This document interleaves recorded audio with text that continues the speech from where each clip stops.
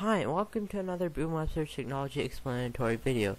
Today we're going to be comparing in form of a top 3 list countdown the best bang for the buck graphics cards and this is going to be the late April 2019 Newegg slash Amazon price edition.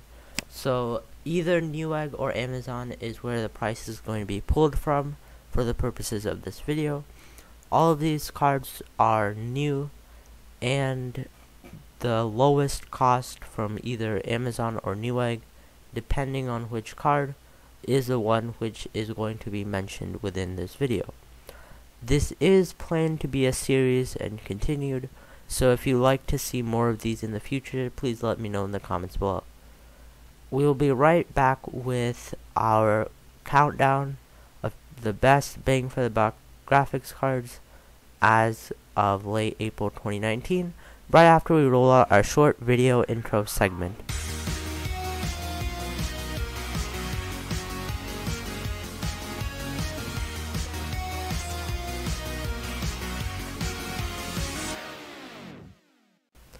Okay, so the way this is going to work is we're going to start from 3, then 2, then 1.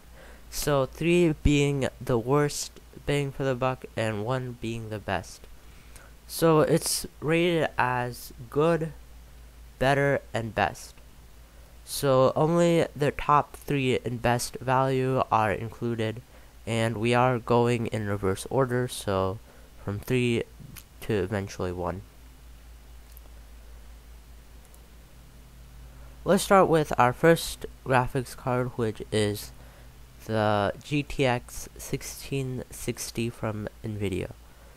As of now, the cost is 219.99 and that cost is coming either from Newegg or Amazon based on which one was of better value, although I think these are pretty much the same costs if not very marginally different, like coming down to the tax or something like that. So all of these cards are going to be included in the video description, and we are going to include wh whether we pull them from Amazon or Newegg. So be sure to check out the video description if you want to know where the prices were pulled from for the purposes of this video. Coming in last on our list, parentheses good, is the GTX 1660. This card is the most expensive and offers the least value on our list for the purposes of this video's countdown.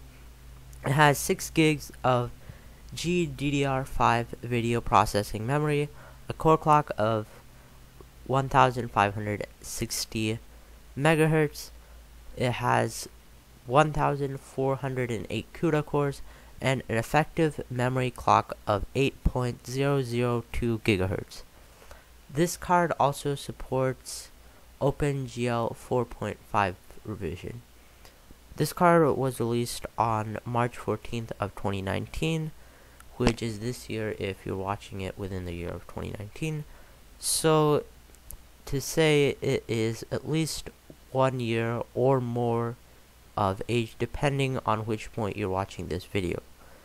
The way we determine the value is we took the overall benchmark score from G3D and we divided it by the cost. So in this case we're taking 10,862 dividing it by the cost which is 219.99 and that's how we get our point value which is 49.3749715 points. Going on to our next card is an option from AMD and that's the AMD Radeon RX 570. Depending on your memory selection, it's going to be 129.99 or 139.99. For the purposes of calculating points, we took lower value the lower value is the 4 gig and the higher value of cost is going to be the 8 gig for video memory. If you can afford the extra $10 in your budget, I definitely recommend getting the 8 gig version just for future scaling and better performance on more long tasks such as video rendering. If you plan that to do that on the future, and that's going back to the concept of future scaling. Although if you're on really tight budget and the extra 10 is not going to be worth it for you if you're going to change your computer every so and so often years, then the choice is up to you. If you can scale your budget up 54.99 from the next card we're going to showcase, then the contestant is here, the RX 570. the RX 570 is next on our list of best value graphics cards on the market using Newegg slash Amazon prices and comes in at number 2. Parentheses on our scale rating is considered better. If you can afford the extra cost from the lowest cost, also best value card which we're going to show in this video, I definitely would suggest this one because it has a similar cost range to the RX 470 and offers better future scaling and overall performance in one card. This card has 4 gigs of GDDR5 video processing memory being double of what's available on the RX 460 and that's going to be even more if you're going with the 8 gig of GDDR5 version which I definitely agree is worth the extra $10 in this case over the 4 gig variant and which I'm also going to link both of those variants in the video description. The average G3D benchmark for this card is 6,878 and that's out of 225 samples. This card has a core clock of 1.293 gigahertz and an effective memory clock base of 7 gigahertz approximate.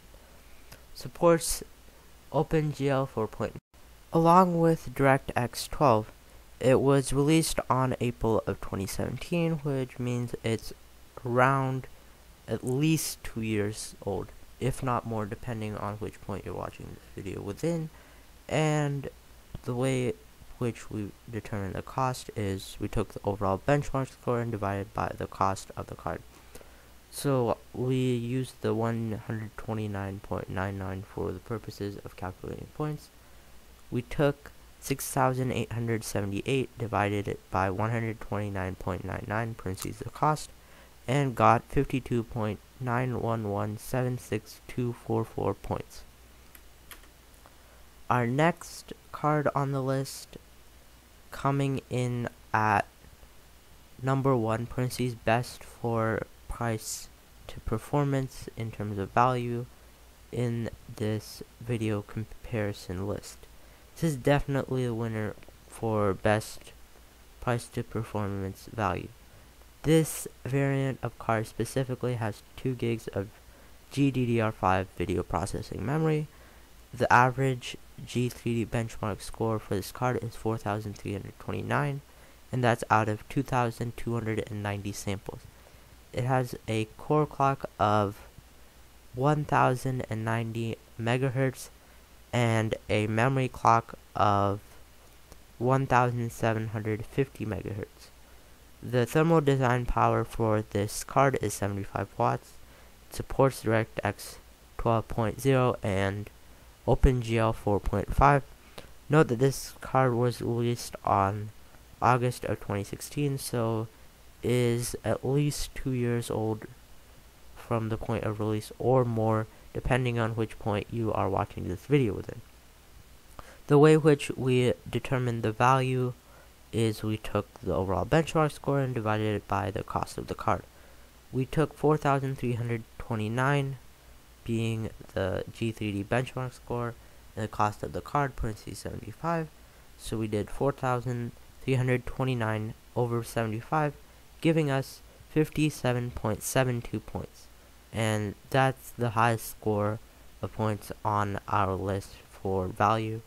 So the more points it has the better rating as in terms of value the card would get. Here's an important disclosure statement. I'm gonna put all the products featured within this video in form of a link in the description box. And note that all the products were selected for this video based on statistical information and as in terms of price to performance rating. Any advice not going off of statistical information was clearly stated, and no sponsorships were made on this video or had any influence slash impact on choices of products included for the purposes of this video. Thanks for watching. Thank you so much for watching this video which is generally towards computer graphics cards. Please let me know if you want to see more of these types of videos for value cards or value processors or other computer components. Also, make sure that you are subscribed to this channel, Prince's Boom Web Search, if you have not done so already, and have your bell notifications turned on to prevent missing any of our future content uploads. The bell notification only appears to the right of the subscribe button after you have subscribed beforehand. If you have any future video suggestions pertaining to the subjects of computer software, computer hardware, technology topics explained, how technology works, or basically anything tech related, then please let me know in the comments below. As always, thanks for watching, and I'll catch you in the next content upload. Bye!